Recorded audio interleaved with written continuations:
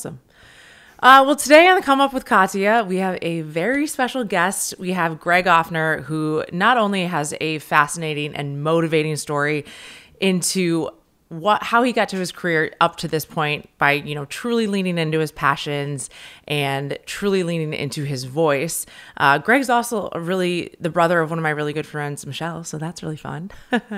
um, and Greg is a professional keynote speaker and has been a performer his whole life. Who at one point completely lost his voice. So we're of course going to get into that whole story and what how that moment brought you to this point, but Greg, let's dive into a little bit. I know that you grew up with a true passion for music, went on to study music, and then took a job as a sales guy. So, yeah. yeah.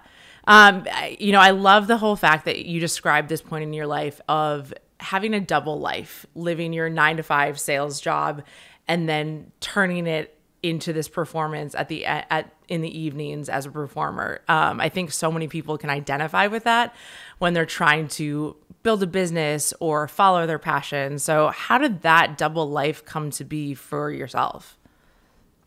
Well, when I started in school in, in college, my major was music. I thought I wanted to be a music teacher. Mm-hmm. And as I got a little bit further into the progression of learning what it means to be a teacher and what it's actually like to work as a teacher, I decided I didn't want to be a teacher. And so I found something that paid even less money. I started studying philosophy and psychology. Oh my God. And so naturally, you graduate college with a hodgepodge degree with music, psychology, philosophy.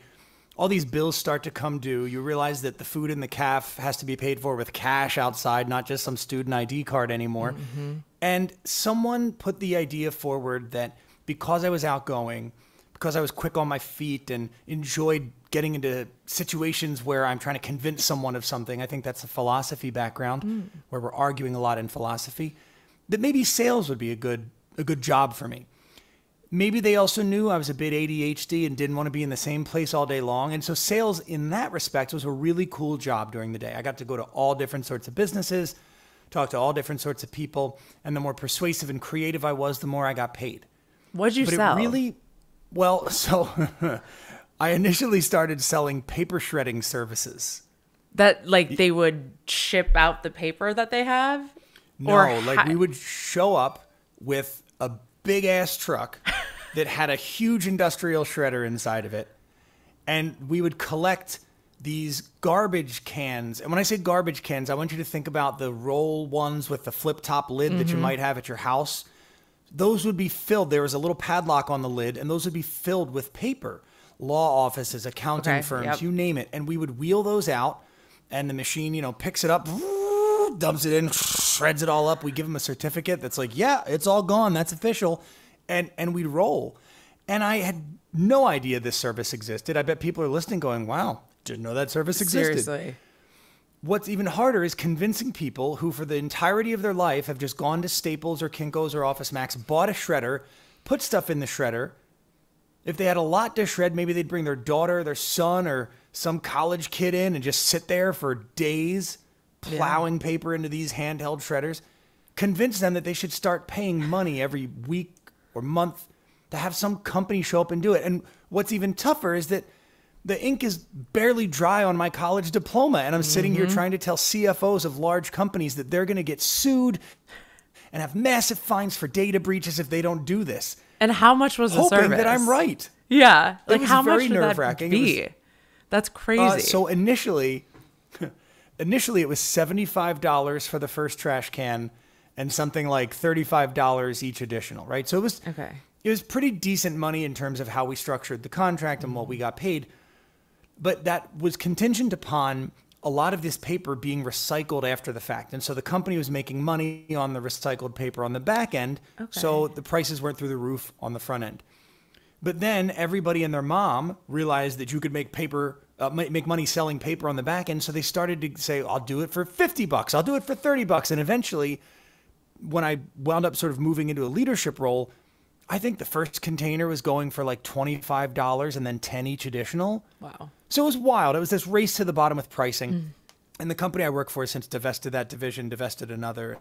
And, uh, a great company just decided to abandon shredding. So I'm doing this shredding gig during the day, you know, making bucks, got free time, loving life. Uh, but I was still really unfulfilled. I knew mm-hmm. that what I was doing was killing time and not really building something. And I just happened to fall into this job as a piano bar performer at night, courtesy of a, of a former college housemate. One night she called, said, My friend's dad's opening a piano bar in Philly. Do you want to come down and check it out, the grand opening? Yes. Friend's dad found out I played piano. Do you want to play tonight? Yes. Got up and did a couple songs. Came back to my seat. He walks over. He goes, So, uh, do you want to work on Wednesdays? I said, Yes. So now all of a sudden I have this day job where I'm corporate Greg with a tie and learning business things and selling business services. And at night, I'm taking requests. I'm having fun. We're drinking on the job. So you have I mean, an open was, bar tab, I'm sure. Precisely. it was this completely different person. And for a little while, that was cool. Mm-hmm. You know, I'm in my 20s. Who cares? I'm going to live forever. But as I as I got into my 30s, it really became a chore to have to live those two lives. It wasn't fun anymore. It was actually frustrating. And then it ultimately became really, really damaging because I got to a point where I looked in the mirror and didn't know who I was. I was okay. trying to be somebody else that I thought everybody wanted me to be during the day, this business guy. And in a way, I joke and say that I was one of the like highest paid actors who never got filmed for anything because I just acted like I was a business guy. So sales Greg didn't really bleed into piano bar Greg. They were two different well, people in a way, yes. And in a way, no. And here's here's what I mean. That sales experience incredibly valuable to anyone. I have lots of friends that are musicians and many of them can't rub two pennies together because they're afraid to go out and really sell mm-hmm. themselves to a bar owner, to an agent. So understanding anything about business for a musician is incredibly helpful. And the work that I do now is the opposite in sort of bringing music into the business world and showing leaders how some of these skills that I amassed as a performer can be applied to what their people are doing and what they're doing as leaders and really transform their business. Yeah. Never saw this coming, of course, and we'll talk about, you know, why I'm in this position now, but it didn't bleed into the call it like nighttime Greg and daytime Greg. Yeah. I mean, there was a very different way of even talking to people, uh, very casual at night and very formal at, during the day. So yeah, d- definitely two different personas. Did your coworkers or some of your clients know or ever see you out performing? Not at first, and that scared me. Yeah. I was terrified because I thought these people are going to know I'm a fraud. Interesting. These people are going to know I'm a fake. And that's what I saw when I looked in the mirror. That's why I say, you know, at first it was fun. It was like, ha, ha, ha, I'm yeah. leading this double life. And then it was like, all right, I'm, I'm leading this double life. And eventually it was, I cannot keep leading this double life. And that's a really scary place, I think, for anybody to find themselves. And unfortunately, I think a lot of people are right on that edge mm-hmm. between trying to be someone that they think everybody else wants them to be. And in the process, really losing touch with who they actually are. Yeah, that's really interesting of not being able to be who you are outside. Of course, everyone has to be like a polished professional. That's part of being in the business world or just conducting regular business, but to not be able to be your true self within those four walls and within that 9 to 5 time period, that's that's really interesting and I'm sure you encounter that all the time with individuals that you it's work with now too. Yeah, and now that I'd like to say I know a little bit better, and I'm sure I'll know even more in 10 years, but now that I know better, I know that those decisions I was making were made from a place of fear. Mm. And that's what creates the danger in that situation is that I'm not acting to gain, I'm acting to avoid loss. And so really, it's acting to try and mitigate change or stop change altogether. And change is change is how we know we're alive. If you stop changing, you're dead the breath goes in and out, your heart beats. I mean, change is how we know that we're living.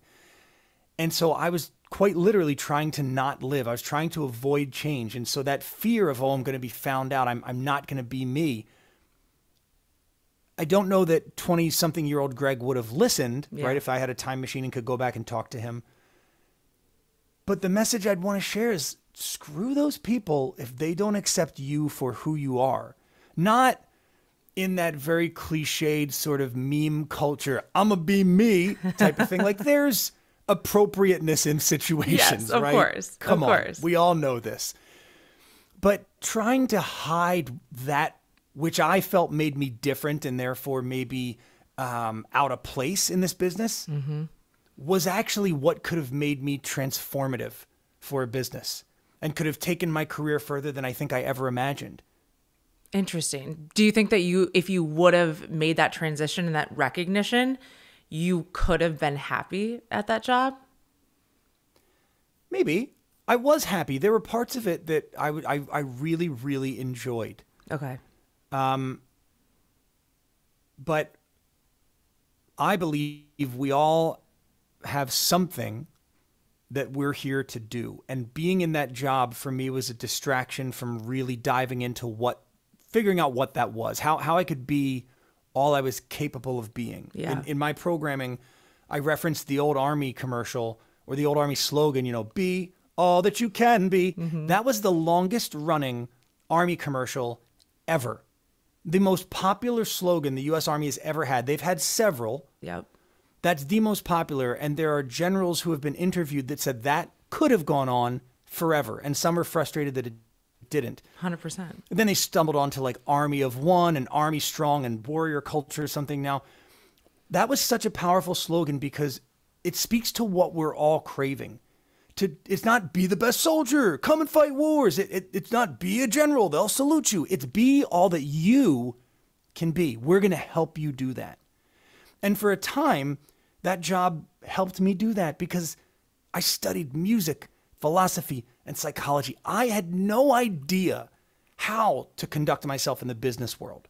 I nearly got fired from this job, my you know, my first real job, the first couple weeks I was in there because I finally had a paycheck, I finally had money. I was going out drinking every night. I was paper in this bar buying drinks and for people and everybody was my friend, big surprise. Yeah.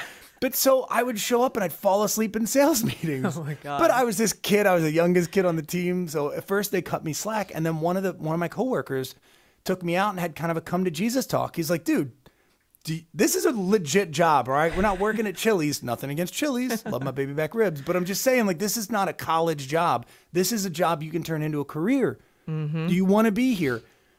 And I didn't, but I was scared because I didn't know where else I'd go. I didn't know what else I'd do. So I was like, yeah, yeah, I'm gonna be here. And I just twisted a little more, Yep. faked a little more, pretended a little more.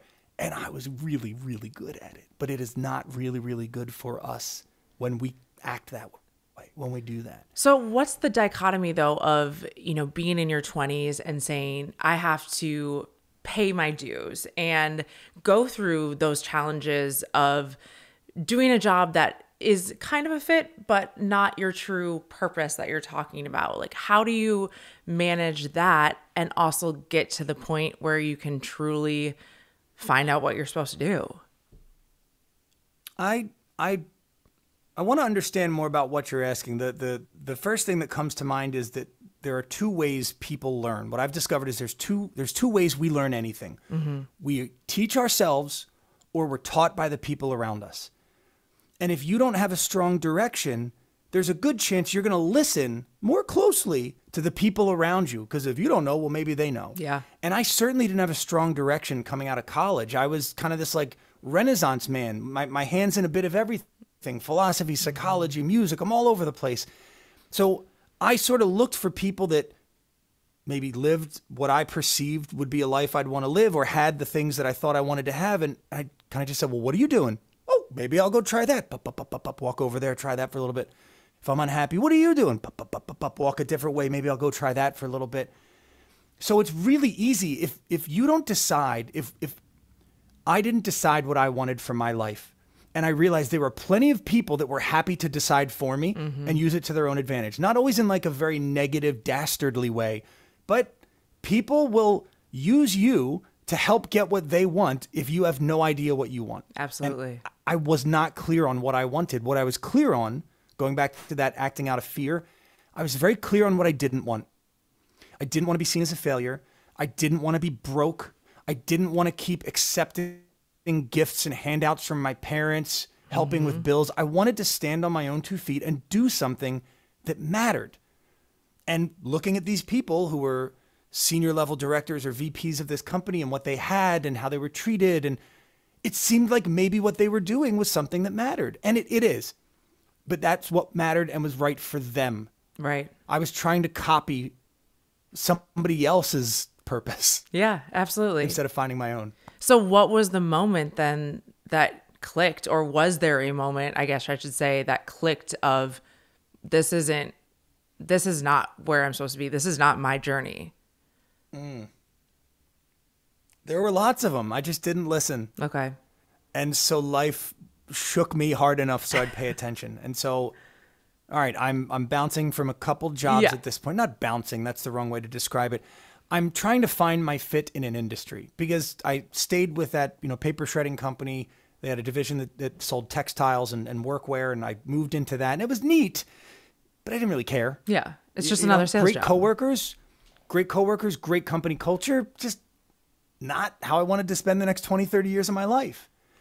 And then I moved into this insurance product and it wasn't exactly what I wanted. And then insurance consulting, and that was really cool. Then insurance brokering, and that was neat too. But right as I moved into what I had told myself, what others reacted in a positive way to when I said, This is my dream job, right? Because there's not about, I still didn't know what I wanted. But when people heard I was getting this job, they were like, Oh, well, let me lay out the red carpet for you, Mr. Hoffner. That's fantastic.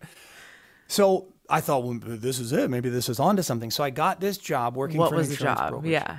Work as, as I was a commercial insurance Okay. broker, working for a very prestigious brokerage, very an amazing company. I love LUV, this company, really, really do. But I'm six weeks, six, six, seven, eight weeks into the training program, and I still got this gig on the side, right, doing doing mm-hmm. piano bar stuff. That's fine.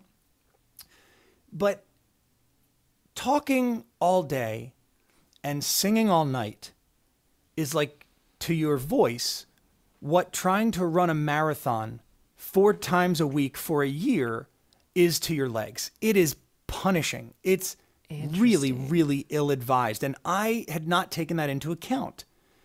Later on, that at the time I was a cigarette smoker and would go and drink at happy hour a bunch of times or go to sporting events and get, you know, let loose.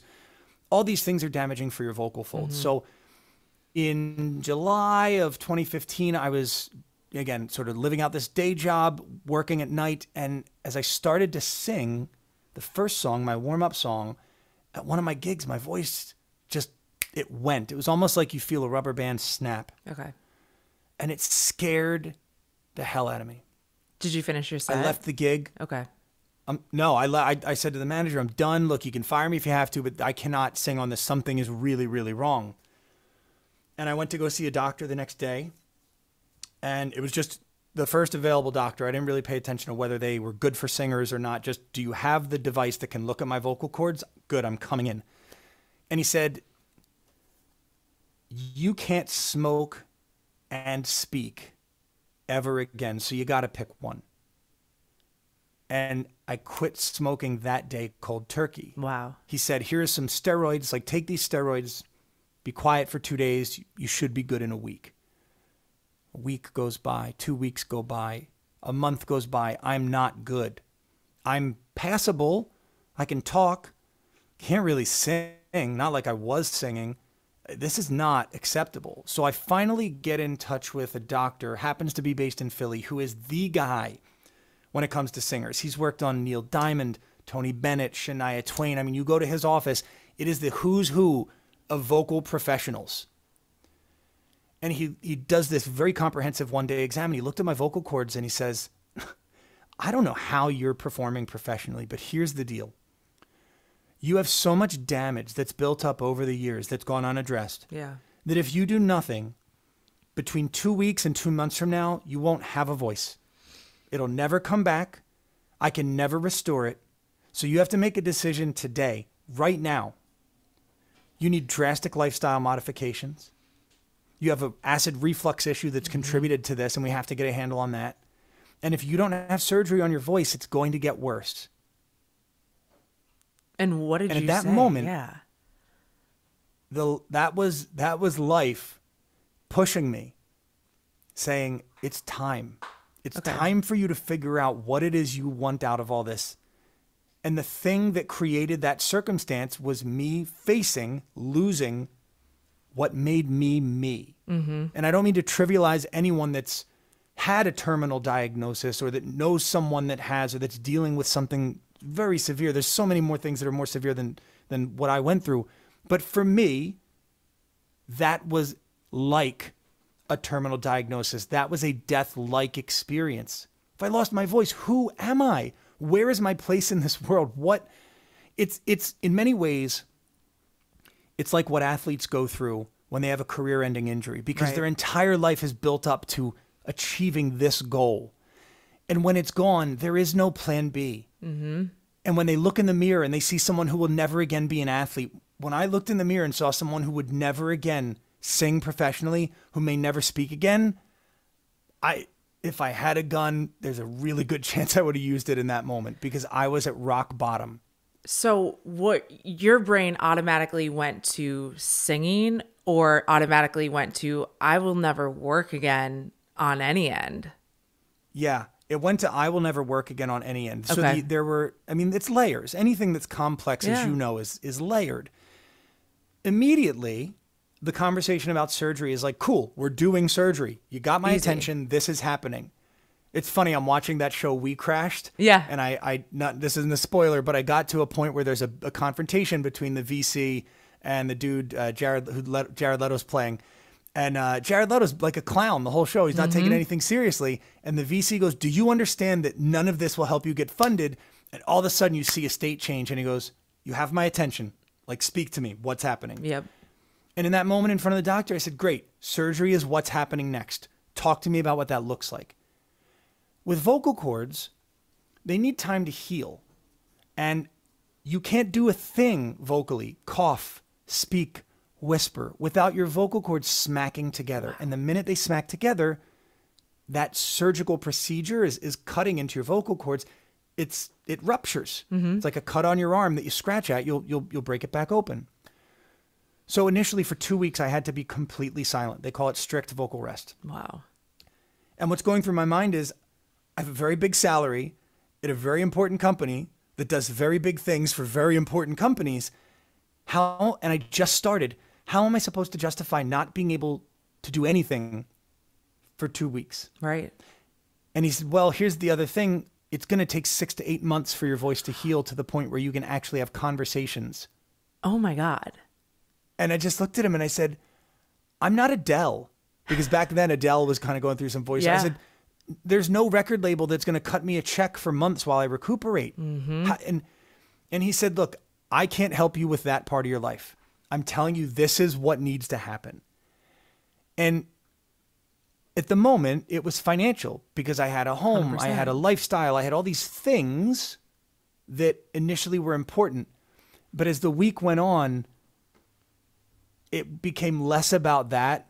And I, I adapted, you know, when it comes to work, I adapted a, uh, like a, you know, we'll figure it out type of approach. For sure. And it became, I- I may never sing again. Okay. And that, that was crushing. Absolutely. So was that your shift? Was that your ultimate shift of not only do I have to figure out how to make this work and make my voice come back, but I have to get to this point where I incorporate song and singing into my into my daily practice and my daily career. So the idea of incorporating singing or, or my voice into my career was was the farthest thing from my Okay. mind. It was what does what does life look like completely modified. And and this is a separate issue, but I think for anybody who's listening, we joke when when we make the comment, you know, if it's too loud, you're too old. But I challenge you to download a decibel meter app on your phone, and the next time you go to a bar for happy hour or you go to a restaurant, we live in a in a society where incredibly unhealthy amounts of ambient noise are thrown at us. Okay.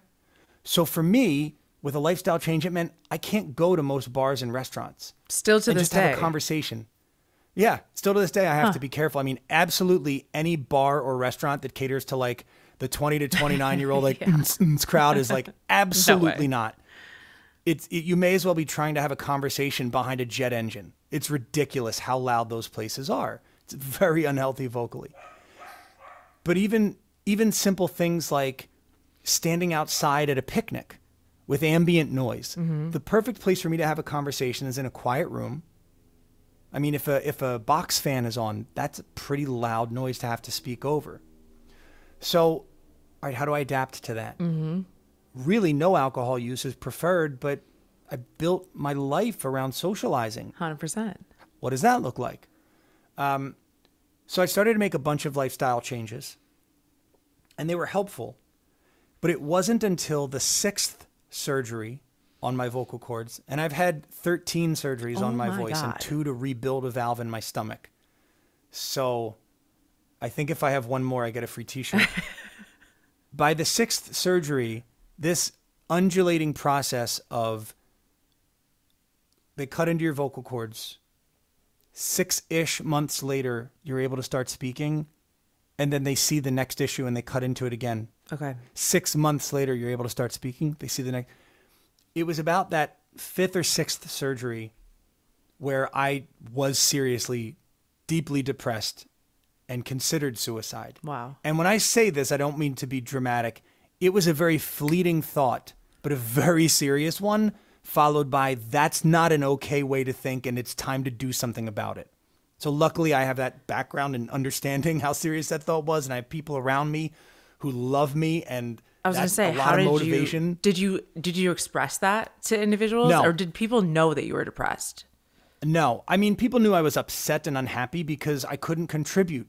I would generally walk around uh, with a whiteboard, like the kind we used to have on like our dorm doors, Mm-hmm. Yeah. right? Or I did anyway. And so, you know, you'd walk around with that. Um, sort of like to, to reference a, a Philadelphia or, or a Jersey Shore.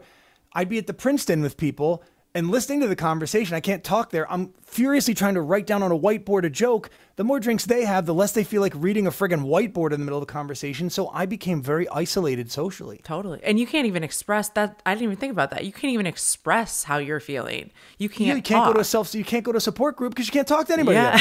oh my god. I mean, I wish like AIM was still around. That would have been perfect for me. Greg has entered the chat Yeah. room. Like, so I knew something needed to change, and I so I I, I went to a Tony Robbins event. Really? I feel odd. I feel odd saying that because it's such a cliche. Like, so I went to Tony Robbins, and I felt that way about Tony Robbins before this this happened. So I was the most anti Tony Robbins you can you dude you could have found. But I watched that documentary on Netflix, and I noticed some really sound and legitimate psychological principles being applied in some of his interventions. And I was like, okay, maybe I got it wrong, and this isn't all BS. And if I'm in a place where I need something to change, like, what the hell? Give it a shot.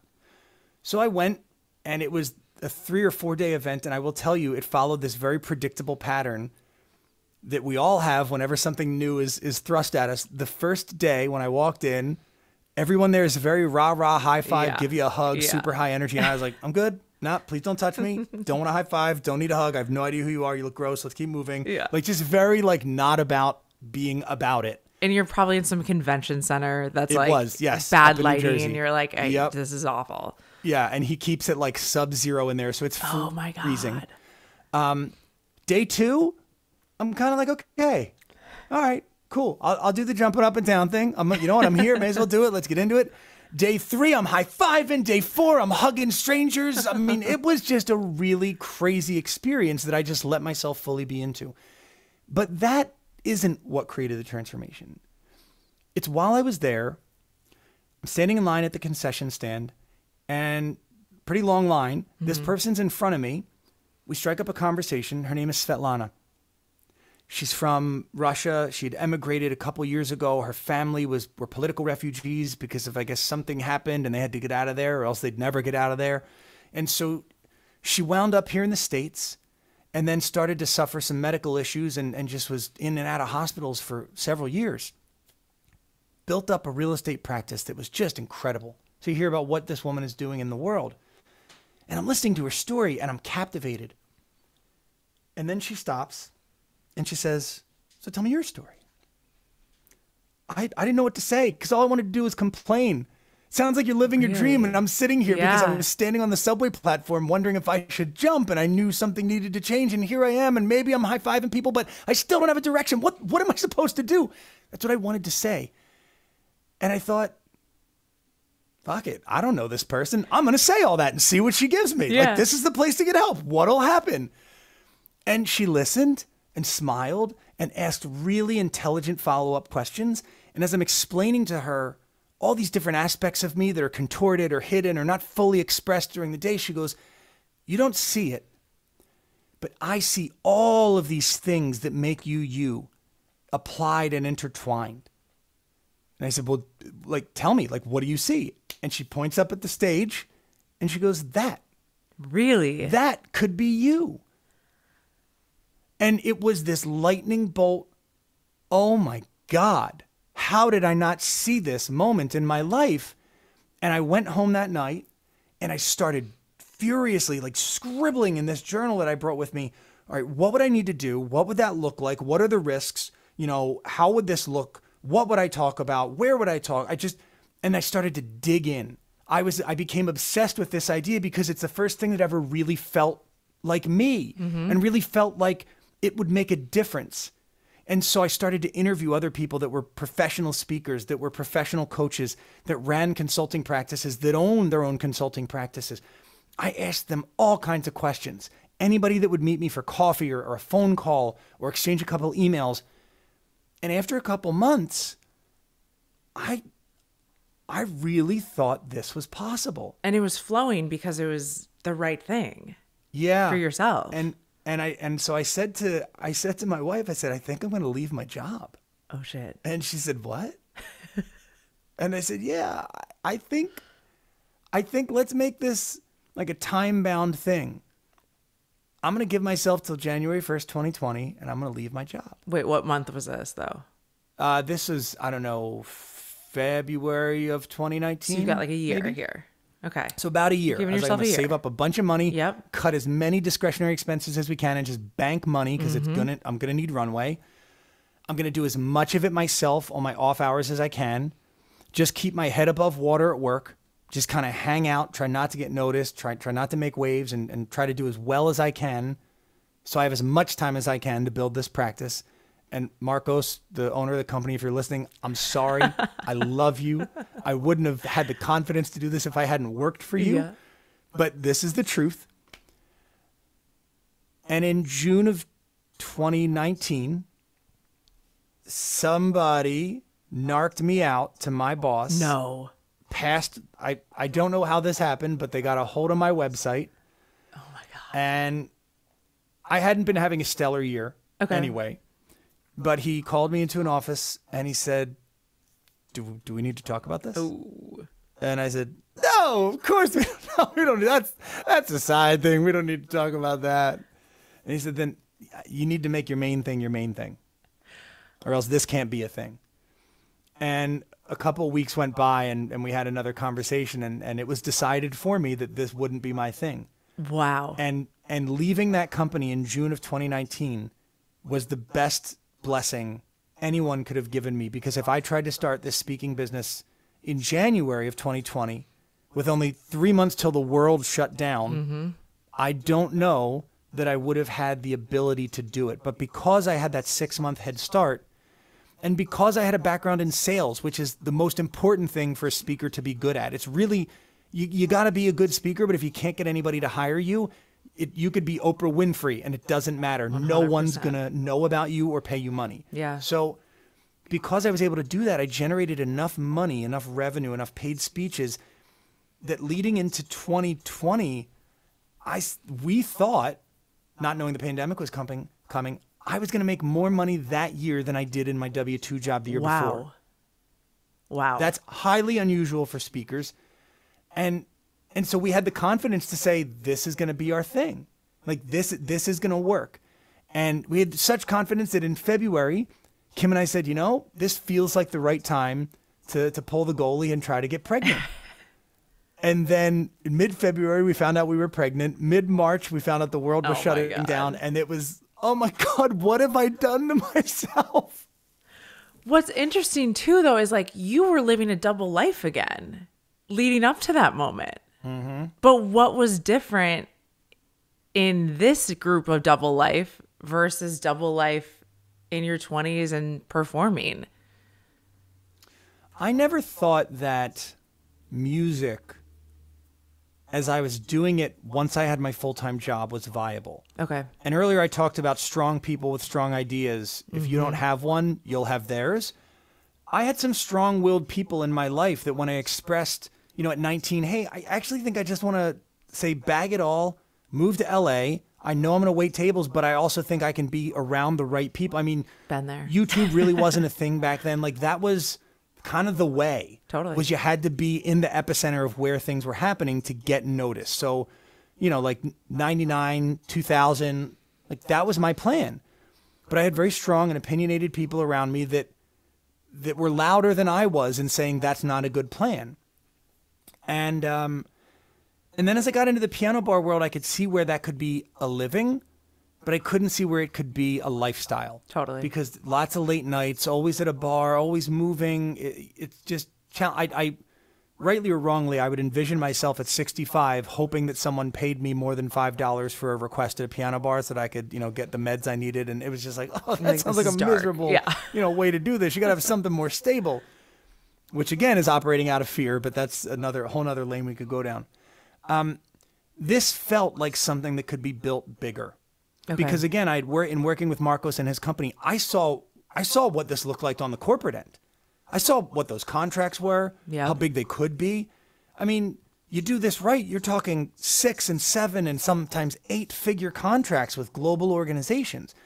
I have zero desire to be that big. I'm not going to avoid it, but like that's not what I want. What I want now is to be able to balance my life, to provide an amazing impact on the world, travel while I do it, and be around, you know, uh, for my kids versus some folks who go out and build a business and they're never around and then Annie's doing this and that. And it's, that's not how I want my life to look. So I'm much more intentional about what do I want my life to look like. I don't care if, Greg, you could be a $2 million earner next year if you just do this. I, I don't care. If that's not what I want to do, thank you for the idea. Shut up Totally. And it is that creates a sense of freedom that I never had in that other life where I was pretending on on the AM and PM. And I think it's because clarity creates freedom. Interesting. I think it's because now that I know what I want, it's Yeah. easier to say no to what I don't want. Absolutely. But when you know what you don't want, it's really hard to identify what the opposite is. Yep. So, how did you manage the disruption of getting let go? Can we say fired or let go? Sure. Whatever you'd like. Sure. Politely asked to exit the building with your things. brought a box of your things. so you man how do you manage disruption like that while also knowing that this is clarity, but there's a lot of unknown that comes with that disruption. Uh, it's well being comfortable with the unknown That's the hardest It thing in the entire world. that's why it's a practice. I think one of the gifts i hope i can give this is a pivot but i'll explain. I think one of the gifts i hope i can give to my daughter is the understanding that all of those kids she goes to school with have no idea. Mm-hmm. A lot of them are trying to fake like they do. And they're trying to fake like you're dumb because you don't know. They don't know I it's a shell that, game Yeah. and the sooner Yep. you, my daughter, or me looking in the mirror, the sooner you realize that, this immense weight gets taken off your shoulders because you don't feel like you're left behind or that you know something or don't know something that they know. You just realize that they're an asshole and mm-hmm. you're not, and you move forward. That's uncertainty. I mean, that's really what changes. The difference between anxiety and anticipation is your expected outcome. So if I thought things were going to be terrible with these vocal surgeries, that I was going to lose my voice forever, that it was going to go all wrong, I would have been really anxious, shoot my cortisol level up constantly, be living in a state of fear, and I probably wouldn't have healed as effectively. Absolutely. Instead, I anticipated how great my life was going to be when I healed, when the surgery worked, when things went well. And it, it just kind of kind of worked out that way. Of course, I had great medical care. I listened to what they said. I mean, of course, I did everything that was within my control. But everything else, it's like, look, man, you lived a lot of your life trying to avoid the worst. What if you started living your life trying to obtain the best? Mm-hmm. Like, what would that look like? And ask, I mean, this is a Tony Robbins thing, but it's really true. Asking better questions. Yeah. What If I if if I continued to ask myself, why can't I get this? Why don't why aren't I making the sales that that guy makes? Why can't I get the promotion? Why can't? Why can't? Why can't? Why can't? Why aren't? Why aren't? Why aren't? It's all negative. Instead, you flip it and you start going, what would I have to do to get that promotion? What would it look like if I were making more sales? What are the behaviors? What I used to ask myself honestly when I first started, I said, what would a successful speaker be doing right now? and, then I just did that. Okay. So, but how how do you maintain to stay in that mindset? Because I think when when you said that the one thing that you wish for your daughter is to tell her that people are bullshit and not to compare their they don't know what they're talking about, not to compare herself to them. I totally identify with that and I think I can speak for like women my age. We grew up in that. We grew up in that she has this and she has that and you should have that and not have your own path. So it's really hard to get into and stay in that mindset that you're talking about. So how do you not only keep yourself in that mindset but also coach people to get there as well? It's it's really hard. Yeah. It's really hard. And a lot of it has to do with what you read, what I read, what I what I What you digest. consume. Okay. Um I I didn't do it intentionally, but I really culled my social circle. And anybody who wasn't a passionate believer in what I was trying to do and that I could do it, you're not not my friend. I just don't have time. Totally. I'm busy. Would love to see you. Don't have time. Busy. Love to see you. Don't have time. And I started to pursue very intentionally people that not only inspired me, but that could be inspired by me, that, that enjoyed being around me for that same reason. That we talked about what we wanted and not what we hated. Philly's a very like hate, hate, hate, you know, hate town. It's like, "Ah, I hate the way they drive. I hate the Mets. I hate the Cowboys. I hate this. Well, what do we want? Yeah. What do, let's instead of talking about what we don't like, let's talk about what we want and let's aspire. Let's. I think in so many areas of life, without making this a, a big grandiose statement, like we need more aspiration and less avoidance. yeah. It's all about the other guy's wrong. This thing's wrong. Well, what's right? Let's talk about what's going to work. totally. So it's very intentional. It's very difficult. I think that losing my voice also created that physical space from socializing that allowed me to do it. Um, and it's just positive reinforcement. And let me explain what that means. We are trained fault finders. Sure. All of us have a part of our brain that is highly sensitive to danger. And back when we had to avoid being eaten by mountain lions, that was a really, really good part of our brain and a really, really good skill. Now, that gets us into a lot of trouble and it trips us up. And so, establishing a gratitude practice, intentionally identifying things that have gone right during the day, that we're happy about, helps keep in helps us keep in that mind stay, stay in that mindset. Um, for me i don't know if you mentioned this if it was in our pre-conference uh, conversation i broke my foot on the very last song of my wedding reception when i got married. Like dancing. Wasn't drunk just jumped up in the air landed funny and broke my foot and for the longest time as it was healing one of my things that I was grateful for was that my right foot worked. I would wake up in the morning and I'd have a boot cast on my left foot, and I'd look at my white my right foot, I'd wiggle my toes, I'd move it side to side, I'd sort of point it all around, and I go, my right foot works. This is pretty awesome. This is cool. I'm really excited that my white my right foot works. And it's stupid. It is absolutely a stupid, stupid, stupid thing to do, but it's also stupid effective. Okay. Do you have shitty days? Like that you don't have a moment of gratitude? Okay. Of course.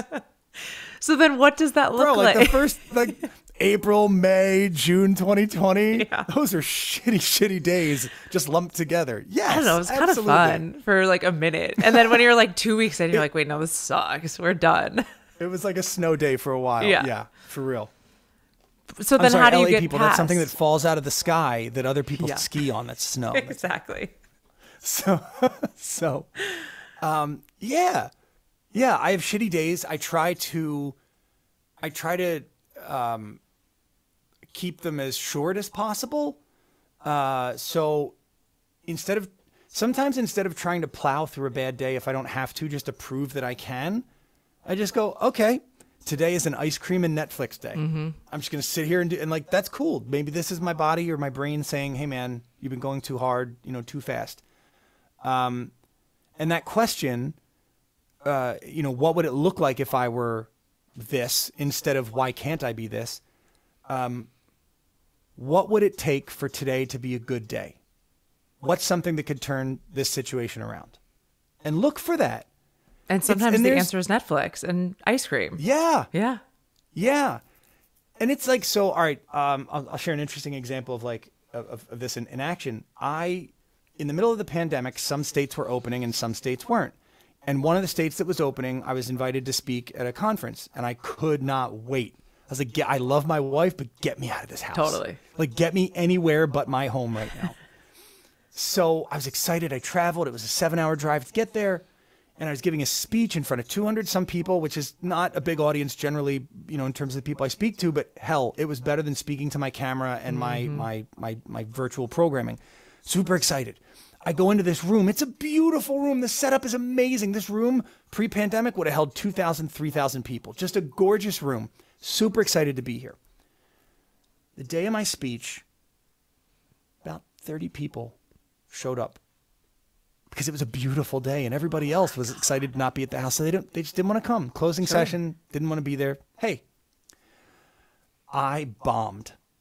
I bombed because I tried to put on a program that is normally appropriate in terms of how it's staged and, and, and my big gestures and my energy. I mean, it's good for hundreds and thousands of people. That's who I normally speak to. 30, 30-ish people. Nah, man, it's like it's like setting off fireworks in a in, in a jazz bar. It just Yeah. it just doesn't work. And it bombed. And I knew it bombed. And I was furious that it bombed. Did you know that it bombed while you're doing it too? Oh my god! you're yeah. in your Anybody head. who's performed knows. Okay. Yeah, it. Yeah. And I had a seven-hour drive home, and I am the type of person that can absolutely stew about this for seven hours if I let myself. But I got in the car, and I said, "Okay, you're gonna you're gonna give yourself like five minutes to just freak the f out." just obsess about it, look in the mirror and yell about it, whatever you want to do, and then ask yourself what could be good about this? Like what can what can this do for you? Because if you ask the right question, you can find the right answer. Mm-hmm. What I realized was that I knew better.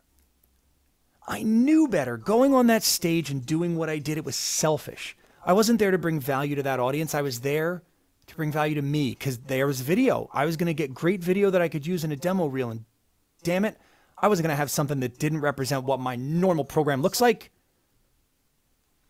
If I had been there for them, I would have sat down on the front of the stage or walked out in the audience and just calmly said, Look, we're to have a conversation today mm-hmm. instead of me doing a big old program, fancy lights and things, because I think that's more appropriate for this. So why don't you gather in a bit and let's have, let's have a chat. Let's talk about this. That would have killed. Yeah, absolutely. But I didn't do that. So, what can be good about this opportunity? I will never miss that signal again. I will never miss that cue.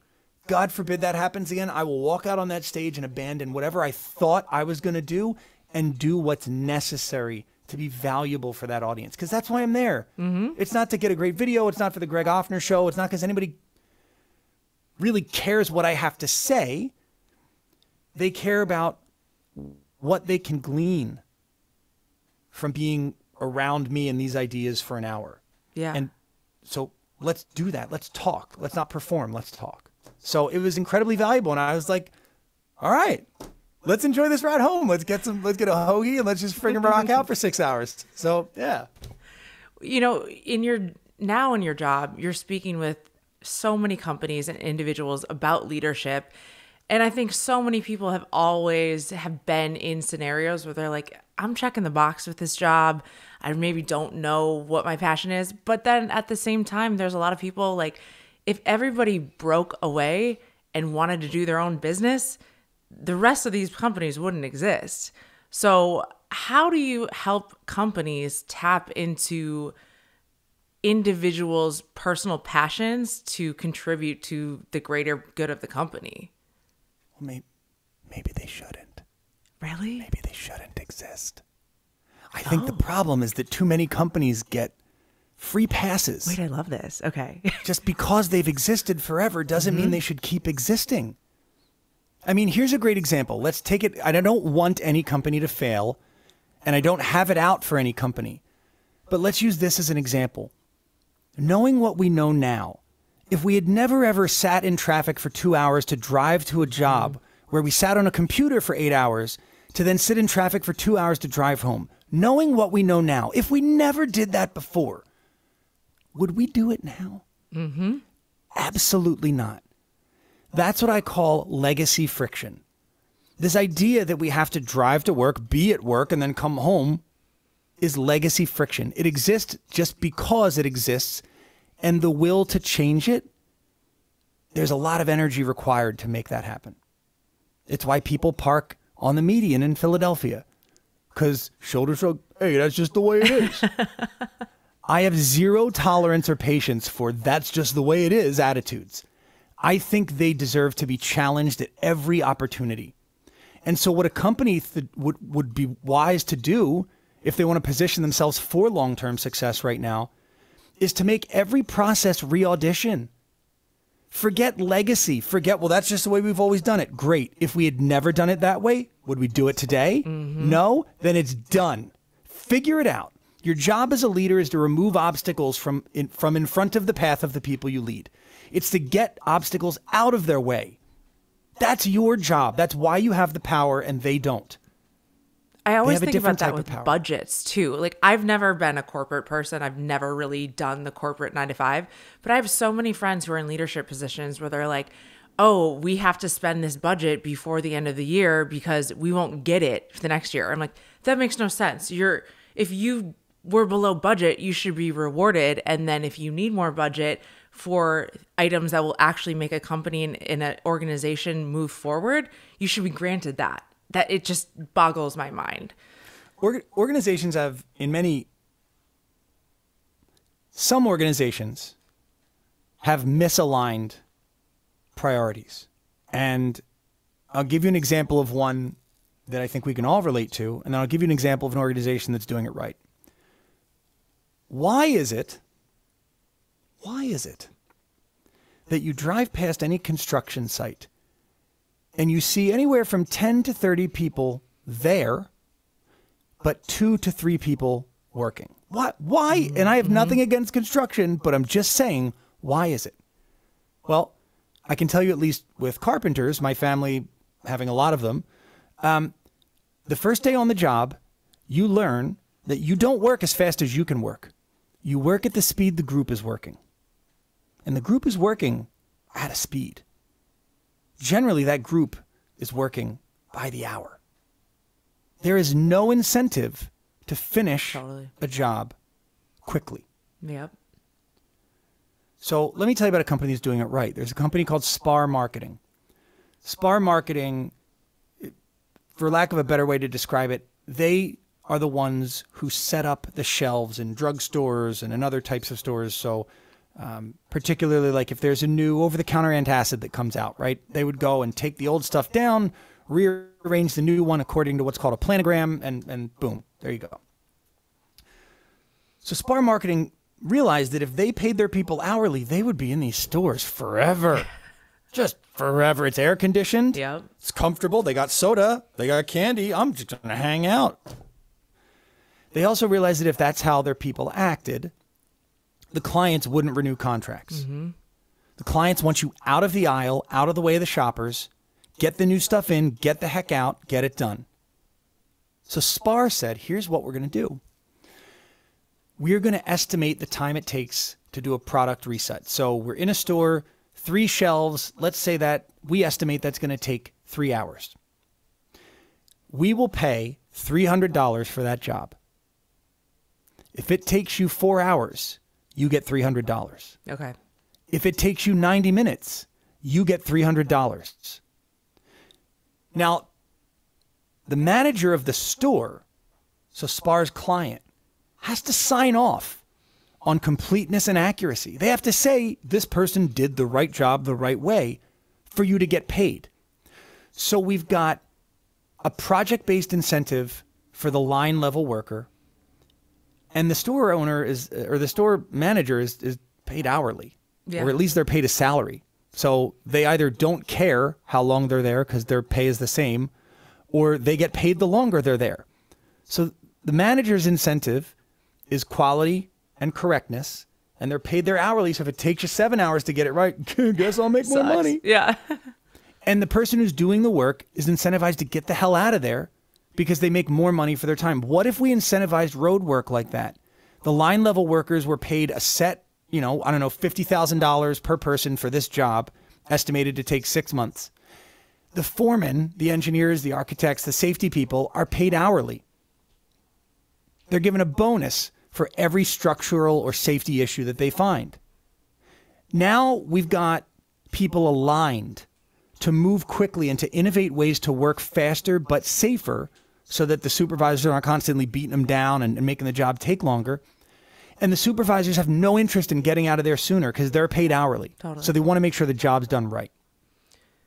So many companies could take those two examples and apply them to different roles within their organization, Absolutely. but they don't because it's tough, because they're legacy systems, it's legacy friction. We've got to make these processes reapply. And that, from a, from a, a leader's standpoint, I think is one of the, the hallmarks of a leader that's going to be very successful in the next 10 years, mm-hmm. is that they operate with a different perspective, that the way it was isn't necessarily the way it should be. So, how do you take that and continue to grow in your business? Because I'm sure you have seen and will continue to see how your come up is going to evolve in this new venture. How do you keep challenging yourself? I, man, I didn't have to the last two years. COVID did it for me. I developed the world's first virtual piano bar because nobody was buying keynotes. We needed an income. We needed something to do that was of value. And my client said, "Look, we're not we're not paying for content. We got all a lot of our vendors giving us free content just to stay mm-hmm. in front of us. But God, our people are depressed." And they're sick of bringing their dog on Zoom, and they're sick of wearing, you know, sick of wearing their college Like or their favorite sports team's jersey on Zoom. Yeah. yeah, yeah. Oh my God, I've got like a Chablis. Yeah. So they needed something to do. And I said, Well, I got the piano, I got all the gear. What if I set up a piano bar? What if I did a virtual all request piano bar experience live? I could interact with all your people live. What would that what would that do for you? Oh my god, that'd be great. Became our biggest excuse, excuse me, it became our biggest SKU, like the biggest thing that we sell. That became our biggest SKU Wow. but I'm also a disturber, like a, a poker of the bear by nature. So I, I frequently rip apart my own processes and, and try to make them better, try to change them, try to see what could be more exciting. Um, sometimes to my detriment, sometimes I do it too soon and I make my life more difficult than it needs to be. Um, but it is also important, I think, that I have coaches. Everyone who is great at what they do almost everyone who's great at what they do has a coach. I don't think enough business leaders, I don't think enough people have coaches. We, we tend to wait until someone gets a VP title or an AVP title to give them access to these you know, coaches or to transformational skills. We spend a lot of time in the first four to six years of an employee's life cycle giving them very specific job related training mm-hmm. that if they left the industry or they left this position becomes less valuable or has no value at all. Totally. And I think we ought to flip that and look at the college model. In in your first two years in college, you're taking mostly gen eds. Mm-hmm. No matter what you declare as a major, those are valuable to you. Well, what are the gen eds of business? Negotiation, gratitude, curiosity and creativity, understanding how to manage your financial energy. I mean, how many people show up? I mean, sports athletes, I just told you about myself doing it. How many people show up, they finally get a check, they're like, oh, baby, we're going to the casino, let's do it.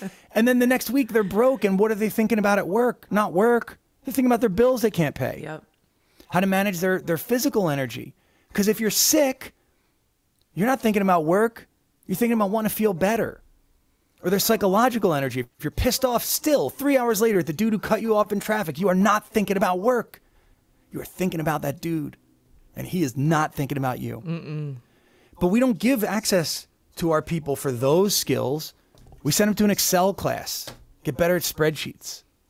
It's it's just it's backwards thinking that I believe is changing, and that my, the programming that I do is designed to put that bug in executives' ears. Yeah. And get them thinking this way, and then they bring me on, and we actually do the work together to help their leaders lead in this way. And the transformation is really something to see, because people start operating with this opportunity mindset instead of an obstacle mindset. They're not showing up each day looking for what's messed up. They're showing each day saying, something's messed up and there's an opportunity there. Okay. Uber Uber wouldn't have existed if cabs were operating effectively, Totally. efficiently, enthusiastically. That's why Uber saw an opportunity, uh, an obstacle, and turned it into an opportunity. So how do we how do we bring that mindset into the professional world where we work? That's what I help organizations do. And then you find you find highly effective individuals who do want to work in a more corporate environment setting that are actually effective at their job then it seems like. Here's the thing bigger businesses can run circles around me. Their ability to leverage cash is unparalleled.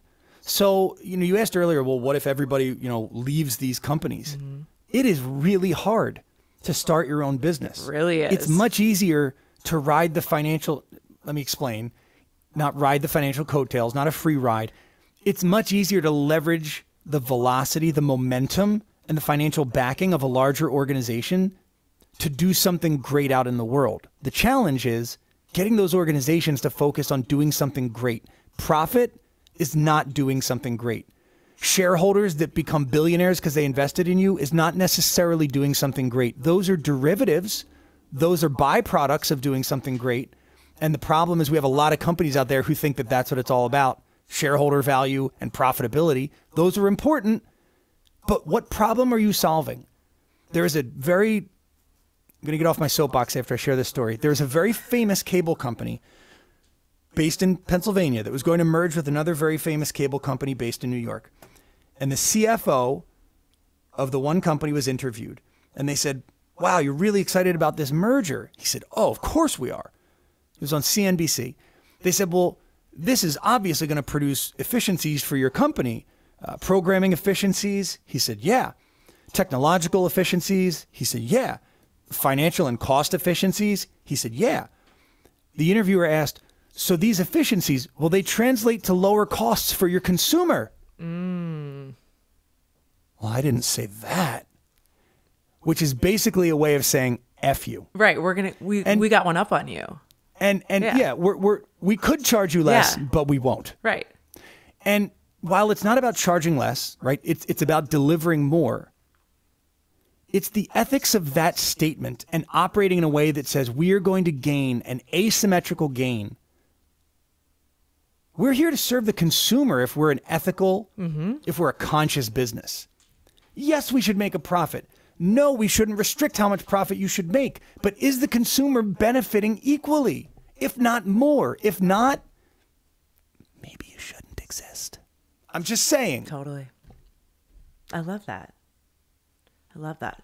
So there's been so many gems of wisdom in this conversation, but what I want to leave everyone with, and what I personally really want to know, is what is like the overall almost elevator pitch for individuals on how to get out of their own way and become successful in what truly fits them.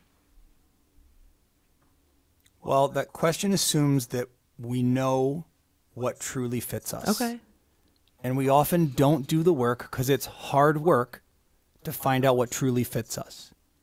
So I'll give you an answer, but first I want to give everybody that process to figure that out. I call it root goal analysis. It's a really simple process. It's hard to do because it requires a lot of scratching your head and running into an answer that you're not really sure of and deep, deep thinking, which I certainly didn't do prior to, you know, this sort of change that went on in my life.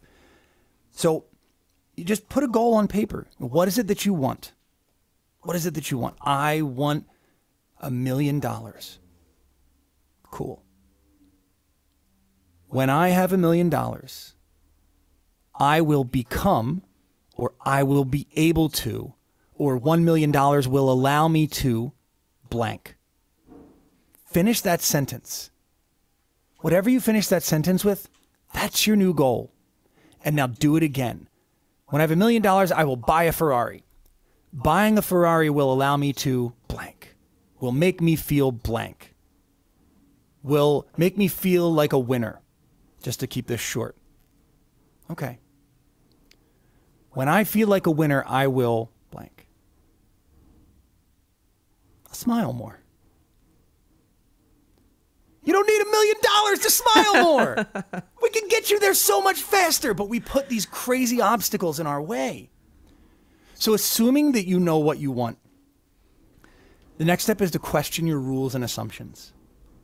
Because we have so many rules that we've created for ourselves. It has to be this way, or I believe that the world mm-hmm. works this way. We get, and I think this comes from that conditioning that I was talking about Absolutely. with my daughter that, like, they don't know we get embarrassed at some point about asking questions and not knowing the answers. Some people do. I know I did at one point in my life. And I stopped asking questions and I stopped growing. And I created assumptions that weren't necessarily true that I didn't test. So maybe check check our assumptions. Check the rules that we've told for ourselves. I can't I can't show up in this way. I can't wear sneakers to a business meeting. You can? What would happen? How do you know? Have you tried? There, so many things, and that's a silly example, but that is one thing that we can do to get out of our own way. Is, is a lot of our rules are made up. They're self-imposed limitations. Definitely. I've had so many, and I'm still working to break through some of them. They're really powerful, but those are the those are the things that the, when we get through them, that's where the magic happens. Yeah, because there is too at the same time societal norms and expectations that we all have been accustomed to. And so it is hard when you hear, well, you know, the people who step outside the bounds, those are the ones that are successful and those are the ones that can really change the world. But when you're not successful and you're trying to step out of bounds, there's a lot of people who call you crazy, and a lot of people will say like, "Get back in, get back in your lane." Um, but it seems like you just have to be so grounded and in gratitude in yourself to find so those. like here's a stupid here's a stupid motivational speaker thing but i think it's it's tell me. it's all right. So so so put your hands up make like a little triangle okay. and then look like, through look at look at your camera with your left eye. Cool? Yeah. You got it? So your camera is framed in, in that triangle yeah? Yeah. Now close your left eye and open your right eye. Okay. Can you still see the camera as well? I mean not really yes. Yeah. So the camera moved but you didn't. Yeah all right, you can put your hands down. Okay. this is the problem when we decide to do something new with ourselves is that even when we make a change and expect the world to be happy for us, we don't take into account that we just forced someone else to change because our position changed. Like you didn't move the camera, but the camera moved because you changed your eye. Mm-hmm. So when you decide to be more positive, that friend who felt better about themselves because you were normally negative, they feel even worse and they're going to take it out on you. Maybe they decide to join you, best case, but they're going to make it harder. So things get harder sometimes when we make these changes. These are part of those rules. Like, if you got to get outside the box to be successful, after enough time, everybody's outside the box, but they're in a new box, and you're the one who's outside the box, right? So it's it's all perspective, it's all relative, and those assumptions and those rules that we tell ourselves are very limiting sometimes. Sometimes they're freeing, sometimes they're they're valuable, sometimes they're valid, you're probably not going to fly if you jump off the roof. Don't do that. That's a pretty good assumption and rule that we've told ourselves. But if you want to start and get out of your own way, check your rules and assumptions. I love that. Well, Greg, thank you so much for coming on the come up and sharing your story and your wisdom and yeah, I mean, you're preaching to the choir on so much of this, of personally feeling a lot of this. So I appreciate it. My pleasure, Katia. Thanks for having me. Thank you. Thank you. Yeah.